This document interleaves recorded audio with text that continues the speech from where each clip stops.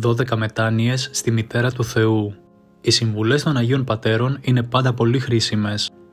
Ο μεγάλος ιερέας Παϊσέο Λαρού είπε τόσο όμορφα ότι κάθε προσευχή είναι δώρα από τον Θεό και αν θέλουμε ο Θεός να εκπληρώσει όλες μας τις επιθυμίες πρέπει να διαβάσουμε το πρωί τον ακάθιστο ύμνο της Μητέρας του Θεού και το βράδυ την παράκληση στην Παναγία. Αναγκαστικά και μία φορά την ημέρα τον ψαλμό 50, όποτε μπορούμε.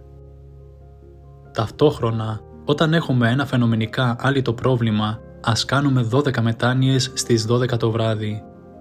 12 μετάνοιες στη Μητέρα του Θεού. Προσευχή το Πάτερ ημών όποτε μπορούμε.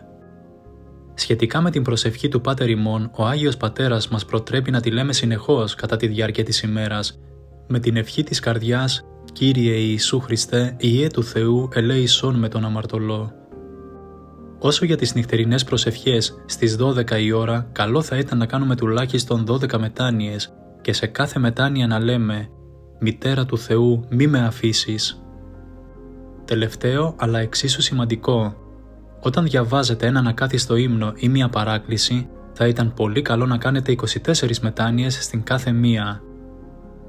Οι γέροντες μας λένε «Να κάνουμε λοιπόν τον κανόνα κάθε μέρα, όπως ο σωστός Ιώβ, που θυσίασε κάθε μέρα για τους ιούς του.